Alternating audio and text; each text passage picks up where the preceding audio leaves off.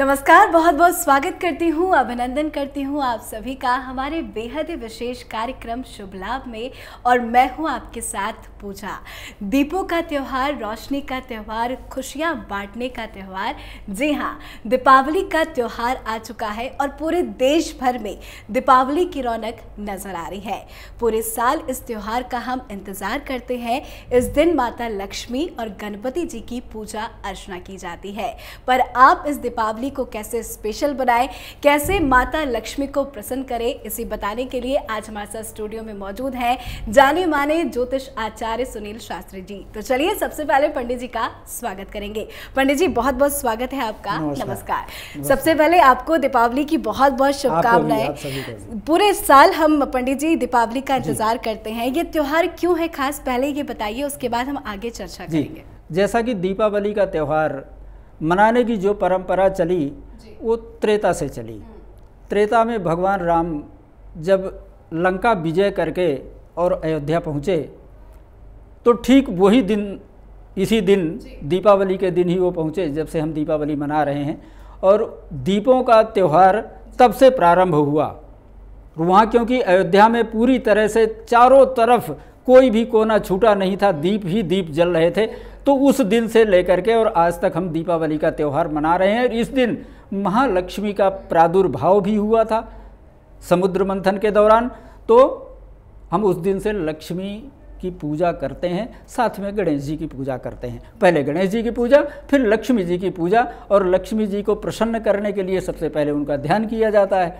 और ध्यान करने के बाद हम उनका पूजन प्रारंभ करते हैं। जी बिल्कुल कहते भी हैं किसी भी शुभ मुहूर्त और शुभ चीज़ की शुरुआत के पहले गणपति गजानंद को याद किया जाता है। जी, जी। पर बात आज लक्ष्मी जी की हो रही है तो बताइए कि लक्ष्मी जी को कैसे प्रसन्न किया जाए? लक्ष्मी जी को प्रसन्न करने का सबसे साधारण तरीका है और जो सभी लोग कर सकते हैं और हर घर में किया जा सकता है। एक साधारण सा, अपने घर में हम महालक्ष्मी की, जैसे गणेश लक्ष्मी की मूर्तियाँ खरीदते हैं, मूर्तियाँ खरीदें और अपने घर में विराजमान करें और वृष लग्न में, विशेषकर वृष लग्न में, जैसे मैं बार बार कहता हूँ कि वृष लग्न एक ऐसी लग्न होती है, स्थिर लग्न जिसको हम बोलते हैं, क्योंकि महालक्ष्मी को हमें स्थिर करना होता है, अपने घर में विराजित करना होता है तो स्थिर लग्न। या तो फिर रात्रि 12 बजे के लगभग निशीथ काल जिसको हम महानिशा पूजा बोलते हैं तो वो निशीथ काल में मध्याह्न में रात्रि मध्याह्न में हम उसको कर सकते हैं। तो इस बार दीपावली का शुभ मुहूर्त क्या है? कब पूजा जी करना चाहिए? बिल्कुल। अच्छा ये अच्छा सवाल है आपका कि कब करना चाहिए?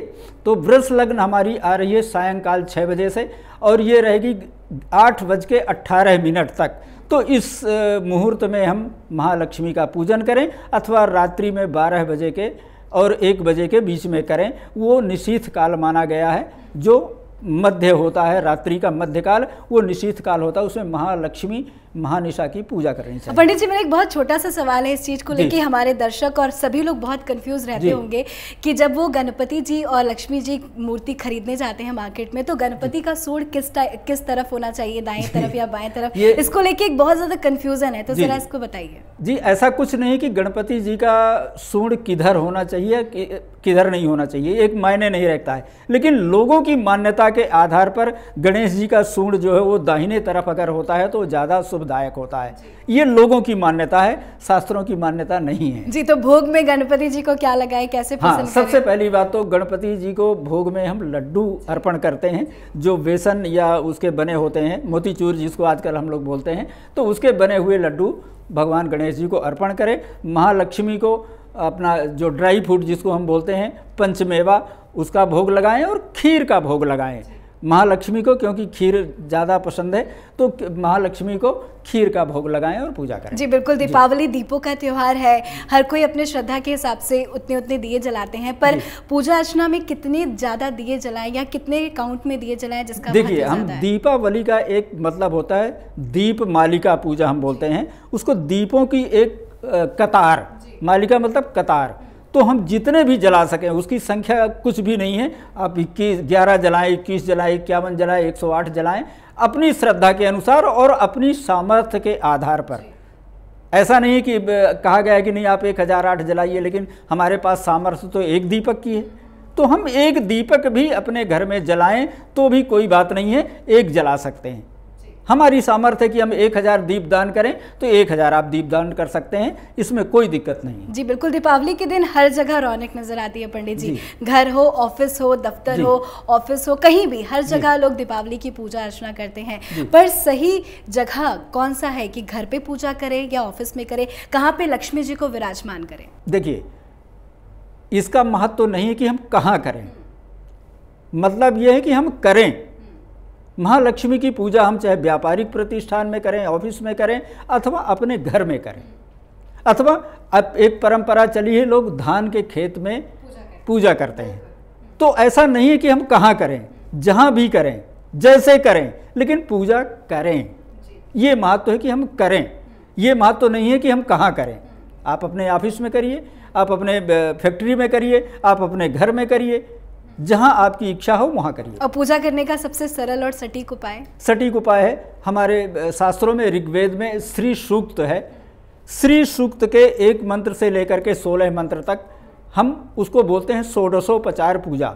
सोलह तरह के उपचारों से पहले हम भगवान माता जी का ध्यान करते हैं लक्ष्मी जी का ध्यान करेंगे उसके बाद उनको आवाहन करेंगे। आवाहन मतलब हमको लक्ष्मी जी को बुलाना है। लक्ष्मी जी को बुलाने के बाद हम उनको आसन देते हैं। ये आपके लिए आसन है ये क्रम है। हम पहले किसी का ध्यान करते हैं कि किसको बुलाना है। तो हमें किसको बुलाना है? महालक्ष्मी को बुलाना है। तो उनको बुलाया आवाहन किया वो आ गई हमारे घर में। तो हम उनको आसन देते हैं बैठने के लिए कि एक पुष्प का आसन दिया आप विराजमान हो जाइए प्रतिष्ठित हो जाइए प्रतिष्ठा करते हैं कि आप हमारे इस आसन में आप प्रतिष्ठित हो जाइए। उसके बाद हम उनको एक क्रम है मैं पूरा क्रम बता देता हूँ आपको थोड़े से हम्म। रूप में। उनको हम पाद्य पाद्य मतलब होता है उनको पैर धोने के लिए जल। जी। हाथ धोने के लिए जल मुख धोने के लिए जल हम्म। और फिर पूरे स्नान के लिए जल हम देते हैं चार बार जल देते हैं। हम्म। उसके बाद हम पंचामृत से स्नान कराते हैं। पंचामृत में दूध दही घी चीनी और शहद। ये पंचामृत होता है इसमें और बाकी चीज़ें ना डालें। कि पंचामृत का मतलब पाँच चीज़ें ही होती हैं। हम्म। तो पंचामृत से स्नान कराएँ। पंचामृत से स्नान कराने के बाद फिर शुद्ध जल से स्नान कराएँ।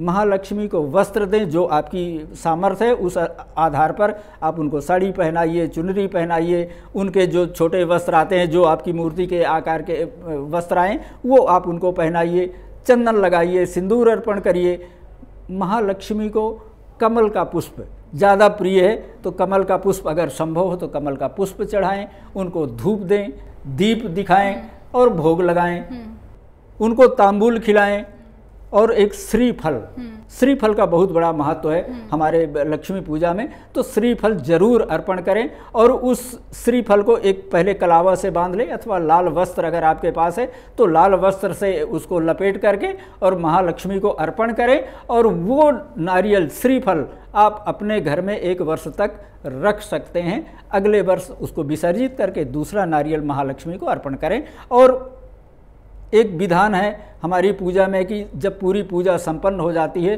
तांबूल भक्षण। मुख शुद्धि के लिए महालक्ष्मी को तांबूल चढ़ाएँ और उसके बाद दक्षिणा दे करके और महालक्ष्मी का श्री सूक्त से या अन्य कोई स्तोत्र आपको महालक्ष्मी के आते हैं तो आप उसका पाठ करें और महालक्ष्मी को मनाएँ। जी बिल्कुल आपने बहुत छोटे शब्दों में बता दिया कि किस तरह से पूजा अर्चना करें। पंडित जी हम हर बार नई मूर्ति तो लाते हैं लक्ष्मी गणेश की पर हमें पुरानी मूर्तियों को भी विसर्जन करना पड़ता है। उसकी क्या पद्धति होनी चाहिए? मैं बताऊँ, जैसे कि हम नई मूर्ति लाते हैं तो वो हर वर्ष अगर हम लाते हैं तो वो मिट्टी की मूर्ति लाते हैं, मृतिका। मृतिका से जो बनी मूर्तियाँ हैं, वही हम हर वर्ष लाते हैं और उसको विसर्जन करते हैं। लेकिन सोना, चांदी, तांवा, पीतल, इन धातुओं की अगर हमारे पास मूर्ति है तो उसको विसर्जन करने की आवश्यकता नहीं होती है। अगर मृतिका की मूर्ति है, मिट्टी की मूर्ति अगर हम स्थापित कर रखे हैं तो उसका विसर्जन करेगा विधान हमारे शास्त्रों में दिया है कि उसको विसर्जित करें और दूसरी नई मूर्ति ला करके और आप प्रतिष्ठा करें। चलिए आपने बहुत अच्छी पद्धति बताई पर मैं जाते जाते चाहूँगी हर कोई लक्ष्मी की कामना करता है और वैसे भी दीपावली लक्ष्मी जी की पूजा अर्चना की जाती है दीपावली में तो कैसे लक्ष्मी जी को मनाएँ कि उनके जीवन में खुशियाँ आए और साथ ही साथ धनवर्षा भी बस मैं एक ही चीज़ कहूँगा कि एक प्रार्थना है जो हमारे शास्त्रों में वर्णित है मैं वो आपको सुना रहा हूँ। आप प्रयास करें कि इसको अपने आप बोलें और देख लें, जैसे भी आपकी सुविधा हो, बोल सकते हैं। ओम यासा पद्मासनस्था विपुल कटितटी पद्मपत्रायताक्षी गंभीरावर्तनाभिस्तन भर नमिता शुभ्रवस्त्रोत्तरीया लक्ष्मीर्दिव्यैर्गजेन्द्रैर्मणिगणखचितैष्णापिता हेमकुम्भैः नित्यं सा पद्महस्ता वसतु मम गृहे सर्वमांगल्ययुक्ता ये मंत्र है ये प्रार्थना है इस मंत्र से आप महालक्ष्मी को मना सकते हैं और अपने लाभ ले सकते हैं। चलिए बहुत बहुत शुक्रिया पंडित जी नमस्कार। नमस्कार जी। तो दर्शकों, आप सभी का भी बहुत बहुत शुक्रिया हमसे जुड़ने के लिए। तो सुना आपने पंडित जी से कि किस तरह से आप अपने इस दीपावली को स्पेशल बना सकते हैं। दीपावली के दिन माता लक्ष्मी की पूजा अर्चना की जाती है। कहते हैं कि लक्ष्मी जी को आप प्रसन्न करें, क्योंकि पूजा पद्धति से आप जिस तरह से लक्ष्मी जी को प्रसन्न करेंगे, ठीक उसी तरह आपके जीवन में धन वर्षा होगी, लक्ष्मी का आगमन होगा, आपके घर में लक्ष्मी आएँगी और आपका जीवन खुशहाली से व्यतीत होगा। तो लक्ष्मी गणपति की पूजा अर्चना करें और आप अपने इस दिवाली को और भी ज़्यादा स्पेशल बनाए। इस खास शो में फ़िलहाल इतना ही। देखते रहिए कैपिटल टीवी नमस्कार और आप सभी को हैप्पी दीपावली